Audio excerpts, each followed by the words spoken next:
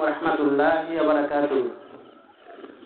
إن الحمد لله نحمده ونستعينه ونستغفره ونؤمن به ونتوكل عليه ونعوذ بالله من شرور أنفسنا ومن سيئات أعمالنا.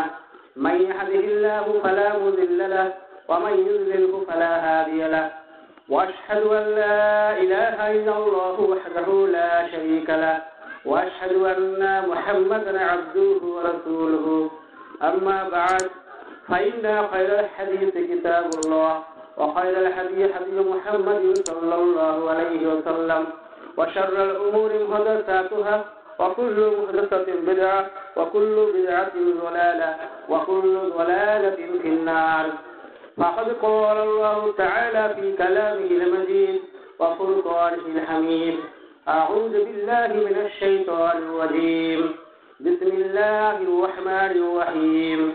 يا أيها الناس اتقوا ربكم الذي خلقكم من نفس واحدة وخلق منها زوجها وبث منهما رجالا كثيرا ونساء. واتقوا الله الذي تسالون به والأرحام. إن الله كان عليكم رقيبا. يا أيها الذين آمنوا اتقوا الله حق تقاته ولا تموتن إلا وأنتم مسلمون. يا أيها الذين آمنوا اتقوا الله وقولوا قولا سديدا. يصلح لكم أعمالكم ويغفر لكم ذنوبكم. ومن يطع الله ورسوله فقد فاز فوزا عظيما. لكن لا وإذا قيل لهم اتبعوا ما أنزل الله قالوا بل نتبع ما أنزلنا عليه آباءنا أولو كان آباؤهم لا يعقلون شيئا ولا يهتدون. عن أبي هريرة رضي الله تعالى عنه قال قال رسول الله صلى الله عليه وسلم كل أمة يدخلون الجنة إلا أبا قيل من آبى قال من أطاعني دخل الجنة ومن عصاني فقد آبى সমস্ত প্রশংসা সমস্ত তারিখ সেই মহান রবুল আলমিনের জন্য যিনি আমাদেরকে তার মনোনীত দিন ইসলামের অন্তর্ভুক্ত করেছেন এবং আজকের একটি এমন মেহফিলে উপস্থিত হওয়ার সুমতি প্রদান করেছেন, যেখানে তার সেই মনোনীত দিন ইসলামের কোরআন ও হাদিসের আলোচনা হচ্ছে।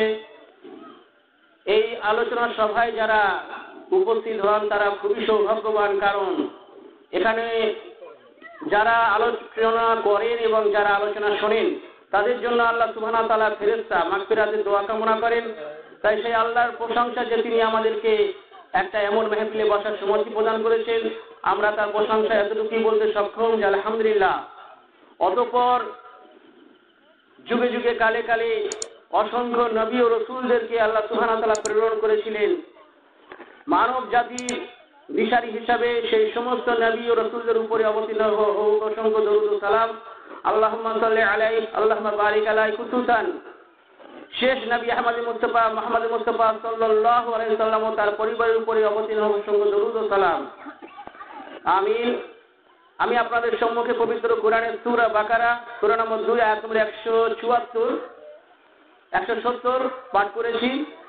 সেটিকে লক্ষ্য করে এবং মেশকাত থেকে বোখারি সাত হাজার দুইশো, সাত হাজার একশো কুড়ি নম্বর হাদিস পাঠ করেছি, যেটা মেশকাতে আছে একশো তেতাল্লিশ নম্বরের সেই হাদিসকে লক্ষ্য রেখে ইনশাল্লাহ আমার সংক্ষিপ্ত বক্তব্য শেষ করার প্রচেষ্টা করব।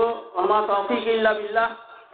রব্বি ইশরাহলি সদরি ওয়াসির লি আমরি ওয়াহলুল উকদাতাম মিন লিসানি ইয়াফকাহু কওলি। আলোচনায় আসার আগে একটি বিষয় নিয়ে আলোচনা করব। মূল আলোচনায় আসার আগে সেটা হচ্ছে যে বর্তমান সমাজের দিকে আমাদের তাকাতে হবে। বর্তমান সমাজ ব্যবস্থা যেটা চারিদিকে হচ্ছে, ইসলাম নিয়ে সিনিমিনি খেলা হচ্ছে। চারিদিকে মুসলমানের অভাব নেই, কিন্তু মুসলমানের তরিকা, মুসলমানের পদ্ধতি, মুসলমানের অনুসরণযোগ্য এককালে যে মুসলমান ছিল, আজকের মুসলমান যেন লাঞ্ছিত, বঞ্চিত, বিতাড়িত। তো মুসলমানদের অবস্থা যা সেটা দেখে খুবই আক্ষেপ হয় যে এদের অবস্থা কেন এরূপ কারণ আল্লাহ সুবহানাহু যে জাতিকে, যে ধর্মকে, তার নিজের ধর্ম বলে, তার নিজের দিন বলে ঘোষণা করলেন। আর সেই দিনের শ্রেষ্ঠতার জন্য, সেই দিনের প্রচার প্রসারের জন্য তিনি অসংখ্য নবী এবং রসুলদেরকে প্রেরণ করেছিলেন। এখানে একটি কথা স্মরণীয়, কথা প্রসঙ্গে এসে যায়। আমরা শুনেছি বা শুনে এসেছি, এখনও অনেক আলেম বলেন। দুটি কথা বলেন। প্রথম কথা হচ্ছে, তারা আল্লাহ সুবাহ তালার প্রশংসা করতে গিয়ে বলেন, আঠারো হাজার মখলুকাত আল্লাহ সুবাহ তালা সৃষ্টি করেছেন। অথচ আজকের বিজ্ঞান এখন পর্যন্ত, প্রাণী বিজ্ঞান, তারা আবিষ্কার করেছে প্রায় দশ লক্ষের উপরে প্রাণী আছে, আপাতত জানতে পেরেছে এখন। তারপরে কত যে প্রাণী আছে, কত যে প্রাণ আছে, কত রকম সৃষ্টি আছে আল্লাহ সুবাহ তালার সেই গণনা মানুষ শেষ করতে পারবে না। আঠারো হাজার মাত্র বলা হচ্ছে। কিছু কিছু আলেম বলে থাকেন, আঠারো হাজার মখলুকাত তথা আঠারো হাজার সৃষ্টি তার বেশি নাই। যদি এটাকে ধরা যায় ইসলামের কথা, তাহলে কিন্তু যারা ইসলাম বিরোধী, তারা বলবে তোমাদের ইসলাম হচ্ছে মিথ্যা। কারণ এ পর্যন্ত দশ লক্ষের উপরে সৃষ্টি আবিষ্কার হয়ে গিয়েছে। এই জমিনের উপরে থেকে বেশি সৃষ্টি পানির ভেতরে, সমুদ্রের নিচে। তাহলে যে কথাটা আমরা শুনে আসি, যে আঠারো হাজার মখলুকাত, জানুন যে সেটা কোরআনেরও কথা নয়, হাদিসেরও কথা নয়। কেউ হয়তো কোনো সময় বলে দিয়েছিল সেই কথাটা প্রচলন হতে হতে হতে হতে আজকে ইসলাম হয়ে গিয়েছে। অথচ ইসলাম এমনটি নয় যে কোনো মানুষের আবিষ্কার দ্বারা হবে। কোনো মানুষ কোনো কিছু বলে দিল, সেটাই যে ইসলাম, এটা নয়। ইসলাম হবে কোরআন এবং হাদিস থেকে। যেটা কোরআনে আছে, যেটা হাদিসে আছে, এই কোরআন এবং হাদিস নিয়েই হচ্ছে ইসলাম। এর বাইরে কোনো ব্যক্তির কথা নিয়ে কিন্তু ইসলাম নয়। তবে আরেকটি কথা যেটা বলেন সেটা অবশ্যই হাদিসের মধ্যে আছে, কিন্তু হাদিসের জ্ঞানকে আমাদের রাখতে হবে, হাদিসের জ্ঞান অর্জন করতে হবে। আরেকটা কথা কি? আমি যে বললাম কথার মধ্যে যে অসংখ্য নবী এবং রসুল গণনার বাইরে, কিন্তু হাদিসে আছে, অনেক হাদিস আছে, এক লক্ষ চব্বিশ হাজার পয়গম্বর বা দুই লক্ষ চব্বিশ হাজার পয়গম্বর, এরকমও বলা হয়। যখন শেখ আব্দুল আজিজ ইবনে বাজ শেখ আবদুল্লাহ বিন বাজ যখন বেঁচে ছিলেন, তিনি পৃথিবীর সর্বশ্রেষ্ঠ মুক্তি ছিলেন, সৌদি আরবের গ্র্যান্ড মুক্তি ছিলেন। তার সম্মুখে যখন প্রশ্ন করা হয়েছিল, এই এক লক্ষ চব্বিশ হাজার পয়গম্বরের হাদিস সম্মুখে মানে সম্পর্কে, তিনি বলছেন যে এই সম্পর্কে যত হাদিসই আছে, সব হচ্ছে যাই একটাও হাদিস সহি না। তারপরে প্রশ্ন করা হয়েছিল যে, তাহলে কত নবী এবং রসুল? তিনি বলছেন, তার সংখ্যা জানা নাই। সঠিক সংখ্যা বর্ণিত হয়নি। তাহলে সঠিক সংখ্যা সেই হাদিসের মধ্যে পাওয়া যায় না। তাই দুটি কথা, একটি হলো কোরআন এবং হাদিসের বাইরের কথা, সেটা হচ্ছে আঠারো হাজার মখলুকা সেটা যেন আমরা কোনো জায়গায় না বলি। আর দ্বিতীয় হচ্ছে এক লক্ষ চব্বিশ হাজার পয়গম্বার, যে হাদিসগুলো জয়ীফ জয়ীফ হাদিস দিয়ে কোনো কিছু প্রমাণিত হয় না। এবারে আসা যাক মূল বক্তব্যের দিকে। আমি যেটা পাঠ করলাম, পবিত্র কোরআনে সুরা বাকারার একশো সত্তর নম্বর আয়াত। আল্লাহ সুবহান তারা সেখানে বলছেন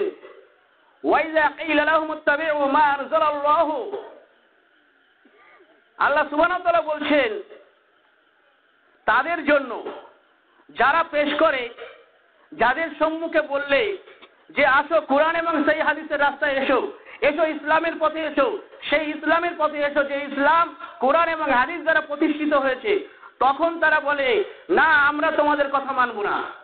আমরা তোমাদের কথা মানব না, আমরা তো সেই কথাই মানব, যে কথার উপরে, যে আমলের উপরে আমরা আমাদের পূর্বপুরুষদেরকে পেয়েছি। তো এই কথাটা কোথা থেকে এসেছে? এটার উৎপত্তি কোথা থেকে হয়েছে? এটাও আমাদের জানতে হবে। নূ আলাইসাল্লাম ছিলেন প্রথম রসুল। নবী কাদেরকে বলা হয় এবং রসুল কাদেরকে বলা হয়, একটু বিশ্লেষণ করব। নবী বলা হয় তাদেরকে। যাদেরকে কোনো ভালো কম, যারা আল্লাহর ইবাদত করে, তাদের নবী বা রসুল মৃত্যুবরণ করেছেন। তাদের স্থলে, ওই নবীর স্থলে নবতী দেওয়া হয়েছে। সেই ব্যক্তির কাজ হচ্ছে তাদেরকে পরিচালনা করা। তাদের কাছেও রহি অবতীর্ণ হতো, কিন্তু কিতাব অবতীর্ণ হয়নি।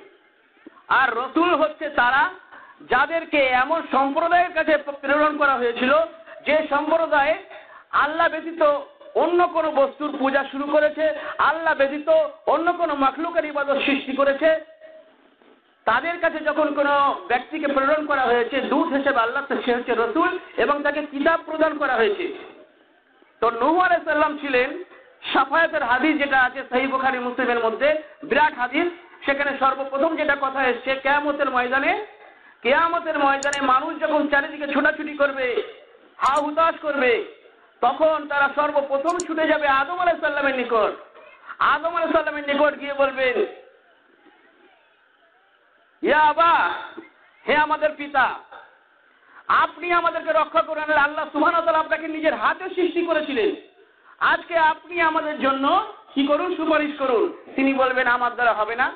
তোমরা চলে যাও। নুহের কাছে সে ছিল প্রথম রসুল। তাহলে সেখান থেকে আমরা জানতে পারছি যে প্রথম রসুল নু আলাইসাল্লাম ছিলেন। নু আলাইসাল্লাম যখন প্রথম রসুল ছিলেন নিশ্চয় তাকে কিতাব প্রদান করা হয়েছিল।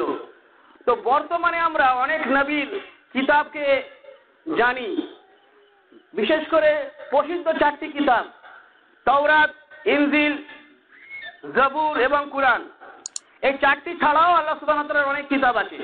আমরা পড়ি না, জুমার সময়। সাব্বিসমা রব্বিকাল আলা আল্লাজি খলাকা ফাসবা শেষে কি কি বলা হয়? সোহফ ইব্রাহিম মুসা।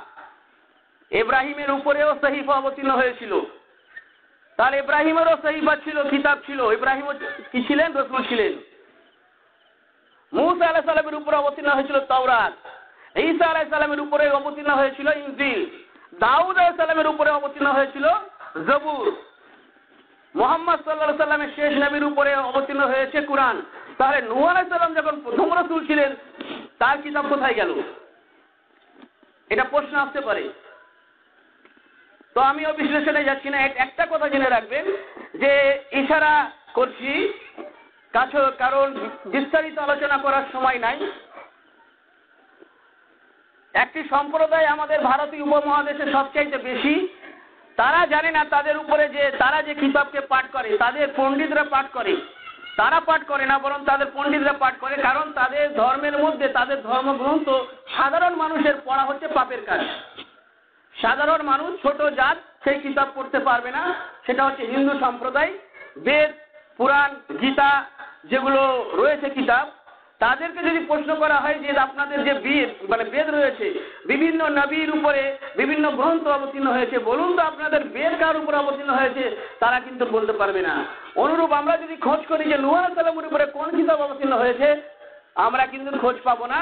কিন্তু যদি আমরা বেদের সঙ্গে, বেদের বাণীর সঙ্গে আর কোরআনের বাণী এবং অন্যান্য বাণীর সঙ্গে মিলিত মিল করে দেখি, তাহলে জানতে পারব যে তাদের কিতাবের মধ্যে একটা রয়েছে নুহ আলাইসাল্লামের নিজের হাতে তারা বলে যে নুহের লেখা নুহের লেখা। মহানুব তাদের গ্রন্থে নুহের নাম রয়েছে মহানুব দেখবেন অনেক স্কুলে পড়ানো হয় যে মহানুবের সময় কি কি হয়েছিল?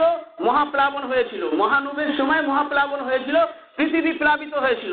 এইরূপ বাচ্চাদেরকে তাদের পড়ানো হয়, এমনকি অনেক শিক্ষা কাহিনীর বই, একদম চটি চটি বই। তার মধ্যে সেই কাহিনী আছে এবং বেদের মধ্যে যেটা সবচাইতে বিষয়, আকর্ষণীয় বিষয় সেটা হচ্ছে, তার মধ্যে আদম আলাই সাল্লামের আমি আমার কাছে আছে ভবিষ্য পুরাণও আছে, বেদও আছে। আদম আলাই সাল্লামের কথা আলোচনা হয়েছে নূ আলাই সাল্লামের কথা আলোচনা হয়েছে, ভবিষ্যৎ বাণী করা হয়েছে, মুসার সম্পর্কে, ঈসার সম্পর্কে, এমনকি বিনা বাপের ছেলে। মারিয়ামের পুত্র ঈসার সম্পর্কে আলোচনা করা হয়েছে। মোহাম্মদ রসুল্লাহ সাল্লাহ সাল্লামের সম্পর্কে ভবিষ্যৎবাণী করা হয়েছে। তাহলে যদি কোনো কিতাবের মধ্যে আল্লাহর একত্ববাদ থাকে, যদি কোনো কিতাবের মধ্যে মোহাম্মদ সাল্লামের ভবিষ্যৎ ভবিষ্যৎবাণী থাকে, অথচ আমরা সেই কিতাব জানছি, আজ থেকে প্রায় পাঁচ হাজার বছরের পুরাতন কিতাব, তাহলে কিন্তু পাঁচ হাজার বছর পূর্বে তারা পেল কোথা থেকে মানে কথাগুলো? নিশ্চয় সেটা আল্লাহ প্রদত্ত কিতাব বলে পেয়েছে, তার মধ্যে আছে। তো আমরা এখনও পর্যন্ত দাবি করতে পারব না, কিন্তু তার মধ্যে যে ইশারা, ইঙ্গিত পাওয়া যায়, সেই হিসাবে আমরা দেখছি যে নিশ্চয় নূহ সাল্লামের যে কিতাব ছিল, তার উপর অবতীর্ণ হয়েছিল বেদ। তো সেটাকে ভালোভাবে জানতে পারবেন, গ্রন্থ পড়বেন, হিন্দু ধর্মের গোপন কথা, বই বই পুস্তক আছে, এগুলো পড়বেন ইনশাল্লাহ জানতে পারবেন। তো আমি যেটা আলোচনা করতে যাচ্ছিলাম, তো নুহ সাল্লামকে প্রেরণ করা হয়েছিল একটি এমন সম্প্রদায়ের কাছে যে সম্প্রদায় গুমরা ছিল, পথভ্রষ্ট ছিল। তাকে প্রেরণ করা হয়েছিল। কোন সম্প্রদায়ের কাছে? যে সম্প্রদায় পূজা করত, পাঁচটি মূর্তির পাঁচটি মূর্তির পূজা করত। আদ সুয়া ইয়াগুস ইয়াউস, নাসার। আদ সুয়া ইয়াগুস ইয়াউস, নাসার। এটি আপনি সুরা নুহের কুড়ি থেকে নিয়ে চব্বিশ নম্বর আয়াতের মধ্যে পেয়ে যাবেন। তারপরে সহি বুখারি হাদিস নম্বর চার হাজার নয়শো কুড়ি। সহি বুখারি চার হাজার নয়শো কুড়ি নম্বর হাদিসে এর বিশ্লেষণ হয়েছে। সেখানে বলা হচ্ছে যে, ইদ্রিস আলাইসাল্লাম পর্যন্ত, আদম আলাইসাল্লাম থেকে নিয়ে শীষ আলাইসাল্লাম ইদ্রিস আলাইসাল্লাম কোনো মতভেদ ছিল না। কোনো আল্লাহ সুবানাতালাকে ছেড়ে অন্য কোনো ঈশ্বর, কোনো মূর্তি কোনো গাছ, কোনো পাথর কারোর পূজা হতো না। একমাত্র আল্লাহ সুবানাতালার পূজা বা ইবাদত করা হতো। অতঃপর ইদ্রিস আলাহ সাল্লামের পর এই পাঁচ মহান ব্যক্তি, ধরুন, একটা নবী ইন্তেকাল করল, ইদ্রিস আলাহ সাল্লাম ইন্তেকাল করল, ইন্তেকাল করার পরে তাকে অনুসরণ যারা করতো, তার মধ্যে প্রধান পাঁচ ব্যক্তি, আর সুয়া, ইয়াগুস, ইয়াউস, নাসার কি ছিল? খুব ইমানদার ব্যক্তি ছিল, খুব সৎ ব্যক্তি ছিল। তারা যখন একে একে মৃত্যুবরণ করল, মৃত্যুবরণ করার পর কি হলো? তাদের কবরের কাছে গিয়ে মানুষ কি করতো? আল্লাহর ইবাদত করতো, তাদের কাছে গিয়ে তাদের সে কবরে সিজা করতো না। বরং তাদের কবরের নিকটে গিয়ে আল্লাহর ইবাদত করতো, কবরের নিকটে এই জন্য যেত যে তাদের স্মরণ আসতো। তাদেরকে স্মরণ করতো যে এরা এইরূপ বাণী বলতো, এইরূপ ভাবে আল্লাহর ইবাদত করতে বলতো, এত ভালো মানুষ ছিল। তো শয়তান ইবলিশ কি করল? এখানে একটা সুযোগ গ্রহণ করল। সেই সুযোগ গ্রহণ করল কি? তাদের কাছে একটি রূপ ধারণ করে গেল এবং বলল, পরামর্শ দিল যে তোমরা আদ যে কবরের কাছে এসে আল্লাহর ইবাদত করছ, তো ধীরে ধীরে ধীরে ধীরে এমন হবে, এমন একটা যুগ আসবে যখন তাদেরকে তোমরা ভুলে যাবে। এক কাজ করো, এখনও তোমাদের মধ্যে যারা জীবিত আছে, এমন ব্যক্তি, তাদের চেহারা, তাদের রূপ সম্পর্কে অবগত, তাদের মূর্তিগুলো তৈরি করো। তাহলে কি হবে? তোমরা তাদের মূর্তিকে সরাসরি দেখতে পেয়ে তাদের স্মরণ আরও বেশি হবে। এরা শয়তানি চক্রান্তকে বুঝতে পারল না। শয়তানি চক্রান্তকে বুঝতে না পারার জন্য কি করল?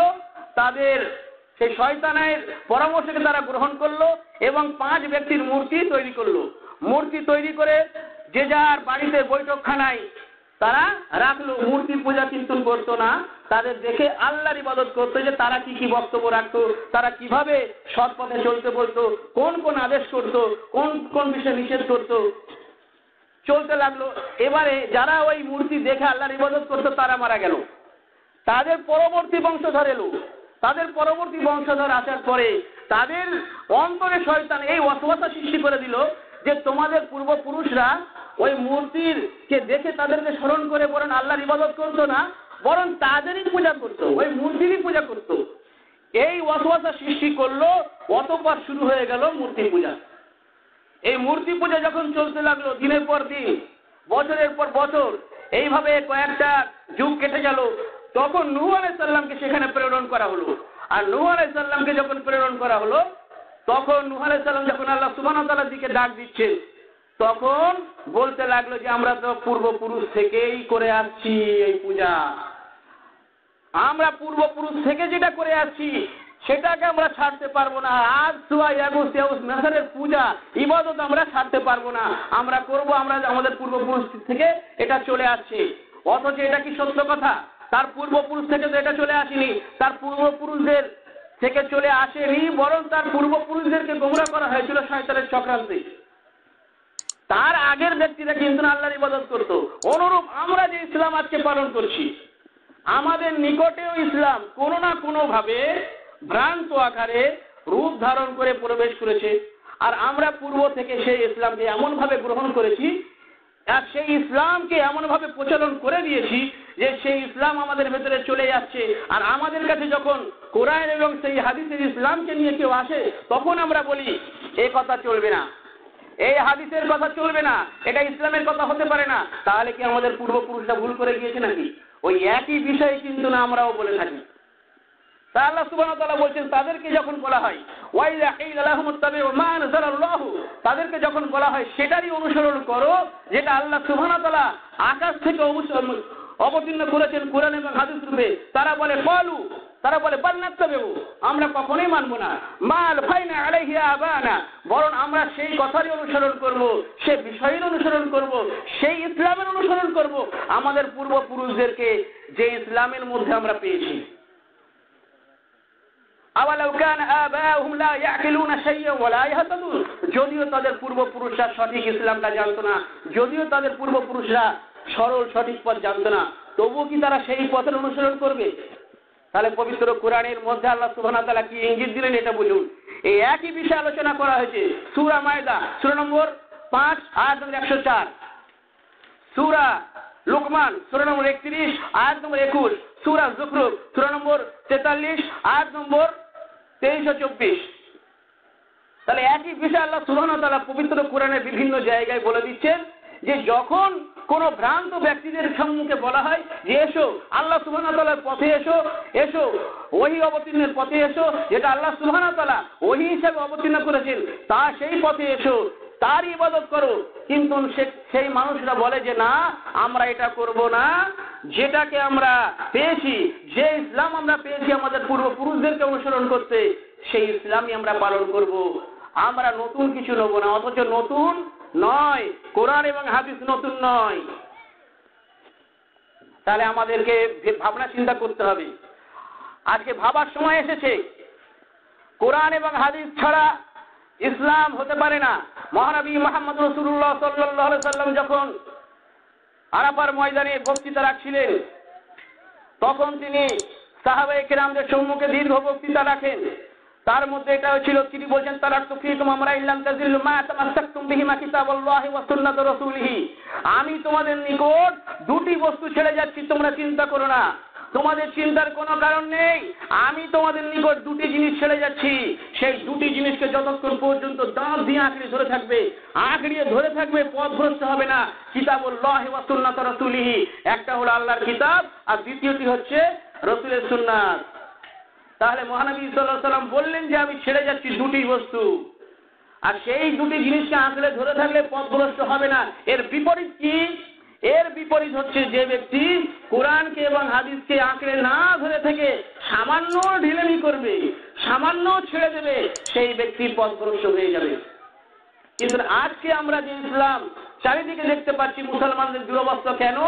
মুসলমানরা আজকে শুধু নাম কাবস্তে মুসলমান।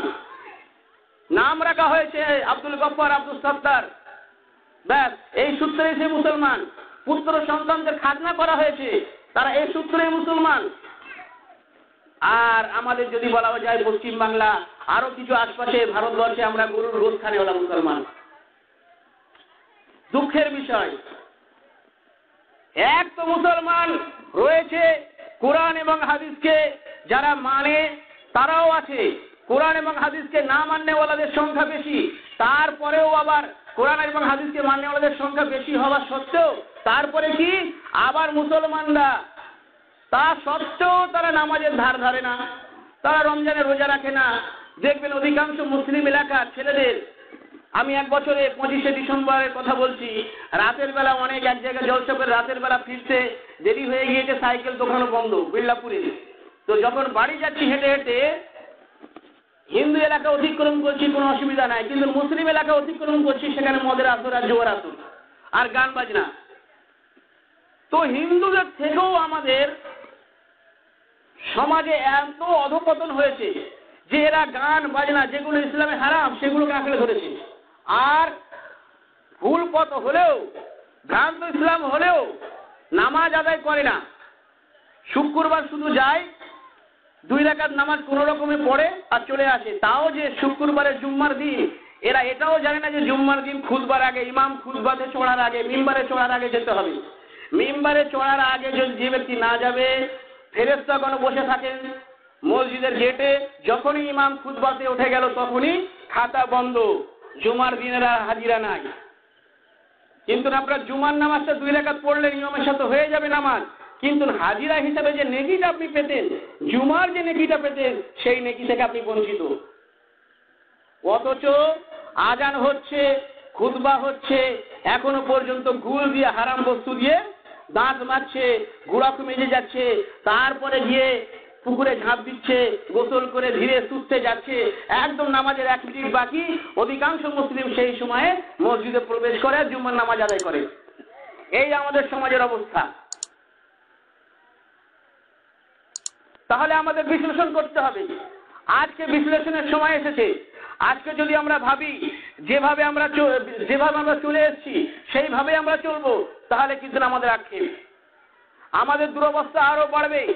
আমাদের দুরবস্থা কোনোদিন ভালো হবে না, সুব্যবস্থা হবে না, আল্লাহ তাল্লাহ রহমত আমরা পাবো না।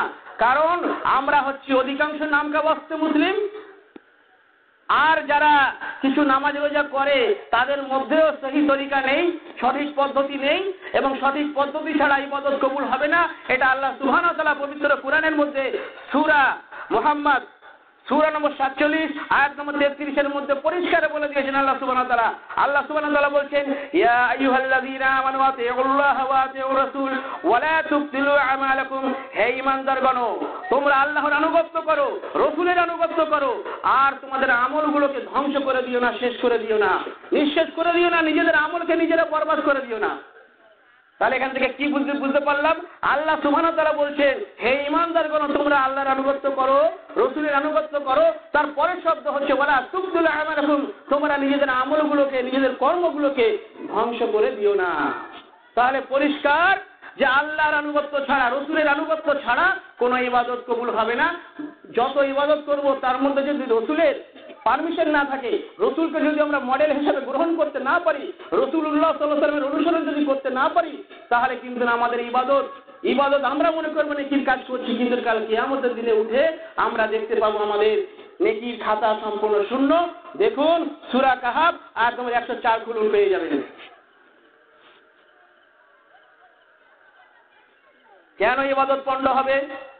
পরিষ্কার আল্লাহ সুবহানাহু ওয়া তাআলা বলেছেন, লাকাদ কানা লাকুম ফি রাসূলিল্লাহি উসওয়াতুন হাসানাহ আমি পৃথিবীর মধ্যে কোন ওলিকে, কোন ইমামকে, কোন পীরকে, কোন কাউকে অনুসরণযোগ্য আল্লাহ সুবহানাহু ওয়া তাআলা করলেন না। আল্লাহ সুবহানাহু ওয়া তাআলা বললেন যে, ইমানদারদের জন্য নমুনা আদর্শ হচ্ছে একমাত্র মহানবী মুহাম্মদ রাসূলুল্লাহ সাল্লাল্লাহু আলাইহি সাল্লাম তার ইমানদার ব্যক্তিদের জন্য যারা মুসলমান, নিজেদেরকে ইসলামের দাবি করে যে আমরা মুসলিম দাবি করে যে আমরা ইসলাম ধর্মের অনুসারী তাদের জন্য অনুসরণযোগ্য ব্যক্তি একমাত্র মোহাম্মদ রসুল্লাহ সাল্লাহ সাল্লাম তার অনুসরণ ছাড়া তার আনুগত্য ছাড়া তার দিক নির্দেশনা ছাড়া ইবাদত কবুল হতে পারে না যে হাদিস আমি পাঠ করেছি মিসকাত হাদিস নম্বর একশো তেতাল্লিশ সেটার আগে আমি ইবনে মাজার একটি হাদিস বলবো عن ابي هريره رضي الله تعالى عنه قال قال رسول الله صلى الله عليه وسلم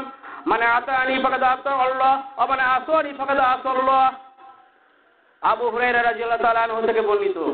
তিনি বলছেন, রাসূলুল্লাহ সাল্লাল্লাহু আলাইহি সাল্লাম বলেছেন রসুল্লাহ সাল্লাহ সাল্লাম বলেছেন, যে ব্যক্তি আমার আনুগত্য করল, সে আল্লাহরই আনুগত্য করল, আর যে ব্যক্তি আমার বিরুদ্ধাচরণ করল, সে আল্লাহ সুবাহতাল্লাহ বিরুদ্ধাচরণ করল।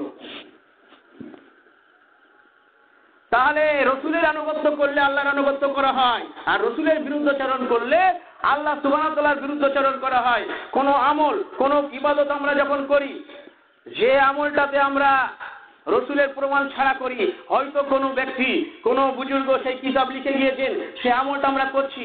সে আমলটা করতে করতে যখন কোনো ব্যক্তি, কোনো ভালো আলেম কোন কোরআন এবং সেই হাদিসের বিজ্ঞ পণ্ডিত যখন আমাদের কাছে নিয়ে হলো কিতাব থেকে, হাদিস থেকে যখন আমাদের কাছে দলিল পেশ করল যে, এই দেখো, এই আমলগুলো আমরা যে করছি এতদিন, এটা ভুল পদ্ধতি। এই সেই হাদিসের মধ্যে রয়েছে এই পদ্ধতি। যদি আমরা বলি যে, না, ওটা মানব না, তাহলে কিন্তু আপনার রসুলের আনুগত্য করা হলো না। কারণ আল্লাহর কিতাব, কোরআন আর রসুলের তরিকা পদ্ধতি হচ্ছে হাদিস। হাদিসের অনুসরণ ছাড়া মহানবী মোহাম্মদ রসুল্লাহ সাল্লা সাল্লামের ইবাদত তিনি কীভাবে নামাজ আদায় করেছেন, কোনখানে কোন তরিকাতে আদায় করেছেন, কি তরিকায় তিনি আদায় করতে বলেছেন, কোন ইবাদত কীভাবে করেছেন, সমস্ত কিছু বর্ণনা আমরা কি পেয়েছি? সেই বুখারি, মুসলিম, তিরমিজি, আবু দাউদ, নাসাই, ইবনে মাজা সমস্ত হাদিস গ্রন্থের মধ্যে আমরা পেয়েছি। হাদিস গ্রন্থ যখন আমাদের সম্মুখে চলে আসবে, তারপরেও যদি আমরা বলি যে না, আমরা ওটাকে মেনে নিতে পারব না, কারণ ওটার ওটার সঙ্গে, ওই হাদিস গ্রন্থের তরিকার সঙ্গে আমার তরিকার কিন্তু মিল হচ্ছে না, আমার ইমামের তরিকার মিল হচ্ছে না, আমার পূর্বপুরুষের তরিকার মিল হচ্ছে না। জেনে রাখবেন, আপনার ইবাদত কবুল হতে পারেই না। কারণ আল্লাহ সুবাহ বলে দিয়েছেন ওলা তুকতুল আমালাকুম। আর সাল্লাহ সাল্লাম বলছেন, যে ব্যক্তি আমার অবাধ্যচারণ করল, সে ব্যক্তি আল্লাহরই অবাধ্যচারণ করল। আর আল্লাহ সুবাহ তাল্লাহর অবাধ্যচারণ করার পরে কোনো ইবাদত কবুল হতেই পারে না।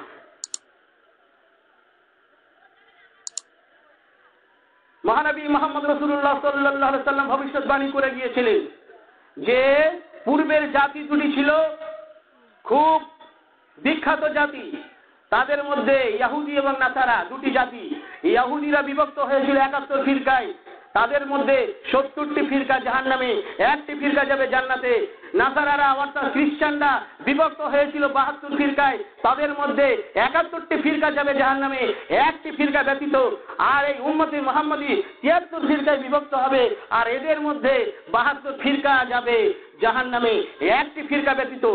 তখন প্রশ্ন করা হয়েছিল, সাহাবে কেরামরা প্রশ্ন করেছিলেন, ইয়া তাহলে সেই নাজাদ প্রাপ্ত ফিরকাটির নাম কি? তারা কোন ফিরকা?